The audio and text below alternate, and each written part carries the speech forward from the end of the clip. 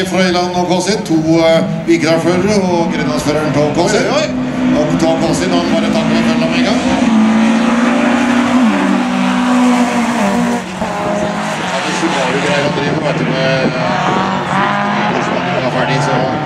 Og kjører S40 her nå. eh,